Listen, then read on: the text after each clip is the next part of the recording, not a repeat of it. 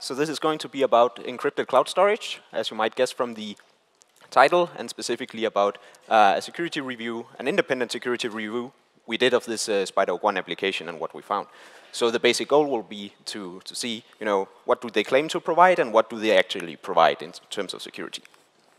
So this will be basically what I'm going to be talking about. So I'll start by describing the threat model we used for this review. Then I'll describe at a very high level how this SpiderOak application works. And then I'll show some attacks on how this can, uh, the security can be broken. And as a small disclaimer here, uh, we did report all our issues, and if you're using Spider SpiderOak, then you should just use the newest version. I guess that holds for all software. All right. so I think I'll start by comparing, you know, or trying to motivate encrypted cloud storage. That might seem, I don't know, silly at a conference full of cryptographers, but I'll try anyway. Um, so traditional cloud storage, I think, has some privacy concerns. For example, you know, besides ourselves, the user, who else can read our files? If our files are basically stored in plain text on the server, then anyone with access to the server can essentially read these files. And that's probably a problem. There's also this issue of, you know, what happens if we, when we delete files, are they actually securely deleted? Um, and the same holds when we close our account. So, you know, the files that we had at some point, are they totally gone now from the server, or is there still some, you know, uh, leftovers, basically? And that's not so cool, maybe. And finally, you know, what happens if this cloud storage um, gets sold, or cloud storage company gets sold? So it might be that we are fine with the company as it is now, but if it's suddenly sold to somebody else who has a different approach to um, managing user data and so on, then we might not be too happy about this. But essentially, we have no real control over the files that we store in this uh, service, so we cannot really control it after you know it's sold. And the solution, I guess, is obvious, right? We just encrypt everything on the client before we send it to the server, and hopefully, you know, all the client or all the server sees is encrypted files, and he shouldn't be able to use that for anything, really. All right. So, but this, this like begs the question, you know, that this encrypted cloud storage, ECS, it should give something more in terms of security than regular cloud storage. Uh, in particular, I think we want our files to stay secure even if the server turns malicious. So all of the points I had before uh, can basically be considered as you know some kind of malicious server. The server starts looking at our files or poking around in them and, and so on. And it also seems that real products basically agree with this sentiment that you know we do not necessarily have to trust the server. So I've taken all of these uh, quotes from the various websites, and they all basically seem to be saying the same, that you know, you should not necessarily have to trust the server or your files stay secure no matter what and, and so on. And it's the bottom one we'll be focusing on uh, in this talk. Okay. Uh, the question is, of course, you know, is this malicious uh, server threat model thing, is that actually used? So for this SpiderOak case, after we disclosed these issues to SpiderOak, they wrote this blog post basically stating that it was built in a time before they considered this threat model, and therefore it is not secure against this malicious server. So that's too bad. But I guess that you know spoils the spoils the results that we actually did found, find some some issues in this if it's not secure per their claim. Uh, finally, there has been some previous work on on looking at these cloud storage company or cloud storage uh, encrypted cloud storage services and the kind of security they provide. So I've taken two examples here that uh, consider SpiderOak in particular. And you know, one of them, the top one, considers an external adversary in, in the form of some kind of web adversary, and the bottom one considers only file sharing and shows that uh, the server can actually read the file. So when you share a file with somebody else in this application, you lose this guarantee of, of security, basically. And this file sharing I'll get back to because it's a bit worse than this. All right, so, so our threat model is, is pretty simple. So we assume an honest client for, I think, obvious reasons. Um, otherwise, it's not so, no, so fun to look at. And since we are um, talking in the context of you know, a real application that we want to assess the security of, uh, this simply means that we receive this software from the server before the server turns evil. Um, and it's kind of necessary because, of course, if we start assuming or start, you know, looking at what happens with the server turns evil, um, an obvious question is, of course, but the server, you know, it could just upload a broken client. Uh, so we don't consider that because then security would be, I don't know, hard to analyze. So informally, our threat model looks at basically two questions. So first of all, are we secure against some kind of passive adversary? So if all the server does is look at the files we have, uh, we are storing, um, but otherwise does not do anything out of the ordinary, are we then secure? So I guess this, this should be pretty clear that this, is, should, this should at least hold, right? Because otherwise there's no point in doing all of this. Then we're no better than a regular cloud storage uh, solution. The other thing we looked at is what happens if the server suddenly starts deviating in some, some sense. So, of course, um, this cloud storage, uh, or these cloud storage applications are in, uh, in essence, some you know, client-server protocol. So of course, there's a lot of communication between the client and server, and a question is, of course, you know, what could the server do actually that is, it would not normally do, and how does the client react to this? So specifically, you know, the protocols that it has, and can these be misused? And again, since we're considering a, considering uh, a real application, there's also the question of uh, the client's implementation. Uh, finally, we do provide this in a bit more formal way uh, in our paper, which can be viewed. It's on ePrint. And it's basically just an indistinguishability experiment between a uh, an, yeah, client and a server. It's, um, I think most of you have seen such kinds of or, um, definitions possibly a hundred times or something like that, right? Uh, and our definition only considers confidentiality. So it's really the very minimal, I think, that we would want from one of these products. Okay. So SpiderOak 1, some very basic facts about this application. So it's an encrypted cloud storage application, and it has received some praise or endorsements from both Edward Snowden and the EFF. So if you care about these uh, authorities in, in popular privacy or what have you, then this, uh, this is a nice attribute to have, I think. It uses this interesting um, name, no knowledge, for their encryption routines, and before that they use zero knowledge. Uh, and it's important here to note that this zero knowledge has nothing to do with cryptographic zero knowledge. It's more like saying that we have zero knowledge of what you're storing because we're encrypting data. And that's also what actually led us to um, look at or consider SpiderOak in the first case because we thought it was very interesting that they use this name without really, you know, considering that it actually has a proper def definition. Okay, um, it supports all the media operating systems. Nothing fancy there. There's some partial support for Android and iOS. It supports file sharing. It's written in Python, so it's easy to decompile. That was nice. It uses certificate pinning in TLS, which means that the attacks that we do found, find um, cannot actually be run by somebody outside, because an outside attacker would, of course, have to break this TLS thing to run the attacks we find. Of course, that's easy for the server, because the server is the intended recipient of the client's data. And we did our review on this 615, which was the newest release, or newest version last, uh, last year when we did this. All right, communication very roughly looks like this. So it proceeds in two parts. There's an authentication part, which is only run on install. So when you install the application the first time, either as part of a new account or just installing it on a new computer, the server gets to pick which protocol to run. Uh, for some reason, there's four protocols that the client will run, but it only runs two of them. Um, and so the, the, or the important thing here is that the server actually chooses this. So of course, a question I'll come back to is, you know, what happens if we run run one of these protocols that is not actually run?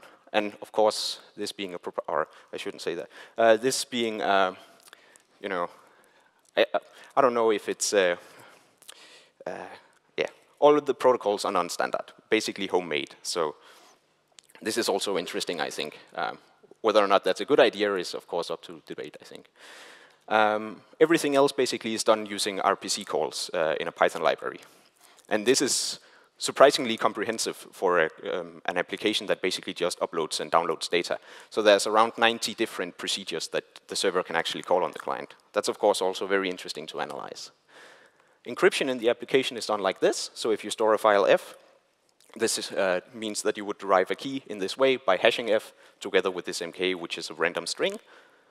These KFs, or KFs keys, so file keys are encrypted with a per directory key. So you have, a, um, you have a unique key per file, and then to protect all of these file keys, you use a key per directory. All of these directory keys is then encrypted by some long-term key. So a long-term key is just a key that is created when you create the account, and then it's just the same forever. And finally, these long-term keys are encrypted by uh, a key derived from the user's password. So of course, everything in the end depends on the user's password for security, and then it gradually, I guess, fans out uh, as you go down this uh, tree on the right. A small note here about password changes. So if you wanted to get some sort of future secrecy, you know, if you break one of these keys, then you'd have to rotate it uh, at some point when you change your password. Unfortunately, this does not happen. So if you change the password in the application, only the encryptions of these long-term keys are actually recomputed. But the keys themselves are not changed or anything. So if you know these long-term keys, then changing the password does not, you know, give you some sort of uh, future secrecy here. All right. Oh, I'm, yeah, right. So this is basically what we found. So we found four different issues that we could actually use uh, to attack the client. And what this means is that there was some issues, or we found some issues in the, um, in the client that the server in some ways can trigger, and this degrades security in some uh, definable or measurable way. So we found one uh, issue, the first one here, which basically weakens the security of a hash derived from the user's password. So one of these authentication protocols I talked bef uh, about before is basically just asking or sending uh, some parameters to the user and asking him to derive uh, a hash. Of course, you know, if the server is malicious, he can choose these parameters in such a way that this goes wrong or this uh, degrades security. There's also some, some interesting consequences of using a pretty out-of-date Python library in this, but I'll skip this part. Then we found two attacks that can recover the user's password, and one of them is totally without the user actually knowing what's going on. This is, of course, pretty bad, I think. Um, and then we found one attack, which in some situations will recover files uh, that are actually not shared. So this, the last one here means that in some situations where you share uh, concretely a directory, you would actually end up revealing files that are not part of the directory to the server also, which is interesting. Um, to get back to this active-passive thing uh, we have in our threat model, uh, the two password recoveries are active, so they require the server to do something it shouldn't do. Um, the passive one is basically just this, all the server has to do is inspect the data that is sent. And of course, we implemented all of these and, and verified that they actually worked and so on. So the first password recovery. So remember that I mentioned we had these uh, four protocols, but we actually only saw two of them. So one of them looks like this. So the server will send a list of RSA public keys and some CHL, a random string. The user uses something uh, called RFC 1751 to compute a fingerprint. And what this does is that, or it hashes all of these keys first, and then it uses this RFC to compute a fingerprint. This RFC is an RFC from, I think, 94 that describes a way to turn a list of, or a, a string of bits into English words. Okay. Then it displays this fingerprint to the user, so the user gets involved in some uh, non-trivial way, like besides just inputting the password. And supposing the user accepts, then you compute this layered encryption thing of the user's password and this challenge, uh, which looks interesting. Of course, the issue is pretty obvious here. You know, the server can, of course, be the one that picks these, these keys in the first place, and this will let him decrypt uh, the user's password when he sends it back. Although this leaves out the question of this fingerprint. So of course, this fingerprint, the way it's used here, it should be pretty obvious that it's basically some kind of uh, out-of-band authentication for uh, this list. And I think this is used in their enterprise product uh, for escrowing keys, but it can also be used in the single-user product, which is interesting. And the question is, of course, you know, what should you, the, the, user be comparing this to, this, this fingerprint to? So this, this is, uh, and I, all right. So, so this is the question, right? If he has never seen this fingerprint before, which I think is a valid assumption if we run this against a user that is not supposed to, uh, or against a client that is not supposed to run this protocol, then he hasn't seen a fingerprint before, and of course, you know, what should he do? So SpiderOak takes this trust on first use, TOFU approach for this, and this is the message that it is displayed together with this uh, fingerprint. It basically says that if you, if you have not been giving this fingerprint, then you should just click yes and move on. Of course, th this doesn't work in, in the case where you know, you're a malicious server. So this, this authentication does nothing to get, or in, in this active case, I would argue. All right, so the file recovery. So it requires some basic or some quick observations about how uh, directory sharing happens in this application. So remember we had this tree or hierarchy of keys. Of course, the most efficient way to share a directory when you have this structure is to just reveal this directory key. And that's what SpiderOak does. So by simply revealing basically one uh, symmetric key, you can share gigabytes of data. So this is very efficient. Unfortunately, we found that when you move files uh, between directories, no encryptions are updated. Uh, and we also found that these directory keys are not updated. This, of course, leads to two scenarios that I think are very plausible. So first of all, suppose we have some directory with some files. This could be easily be like a directory with uh, vacation photos or something. Some of them are, I don't know, maybe too private to share with your colleagues or something. So you move them to a different directory and then you share the old one. So now you can show these photos. But from this observation too, this file that you move away is actually still shared with the old key. So when you reveal this to the server, as you do when you share this, the server can actually recover these different keys. A similar thing happens as a consequence of this observation 3. If you have some shared directory and you stop sharing this, add new things to it, then these new things is encrypted with a key that the server still knows. And of course, the server can then recover this. And I think it's important to point out that in both these scenarios, the files that the server can recover are actually files that the user takes specific steps to avoid sharing. So it's not just random files, it's actually files that are, you know, the user doesn't want to share. So th this is all nice and, and so on. So, so this is the last password recovery, or the second one, the silent one. Um, I think this is bad enough in itself, but okay. So after installation, in order to avoid uh, having the user input his password on every, uh, you know, every time he starts up the application, uh, the client will write out the user's password in plain text on a file locally. Okay. Uh, I guess th th this is a problem if you, you know, are afraid of somebody stealing your computer or something like this. So we analyzed these RPC methods, and we found an RPC method that, given a file path, will return this file's content if the file path matches a regular expression. Uh, and I guess you can see where this is going, right? Um, the file path for uh, for the file containing the user's password matches this regular expression, and the server can actually just ask for the user's password. and then it will, uh, the client will happily return this password, or the file with the password in it. yeah, okay.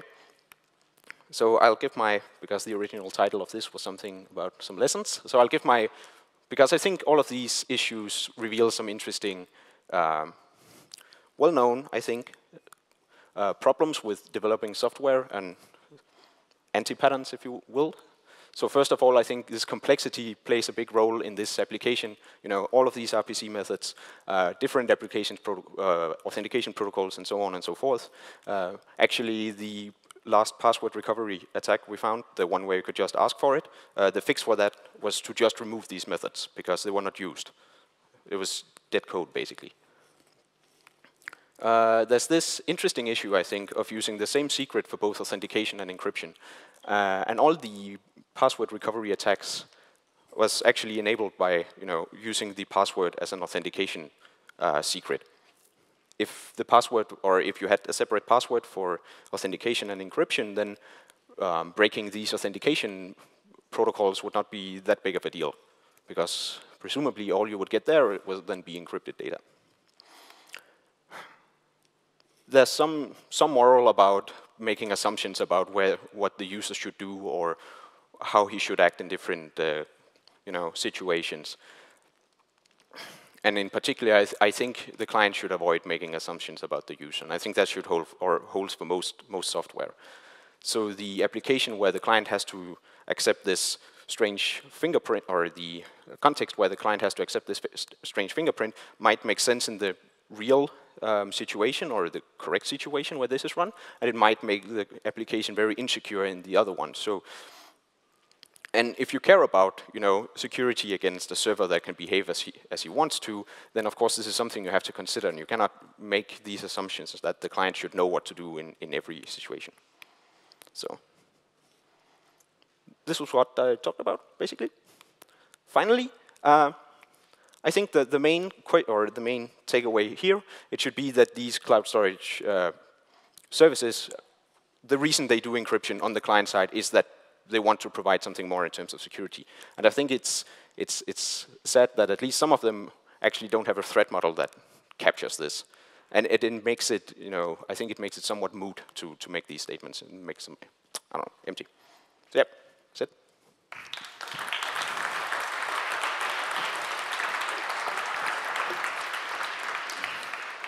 Thank you, Anders. So we have a minute or two for some questions. Questions upstairs? Well, I have one. Was this all done manually by decompiling the Python and, and Yep. looking carefully? No automated support to No. look at how 90 different RPC calls interact with each other? Yeah, so this is manual work. It's a bit sad because it doesn't uh, generalize very well, manual work. As a Spider Oak user, I appreciate it, so thank you. Okay, nice. Okay, You should just um, update to the newest version, I guess. So. All right, so let's thank Anders again.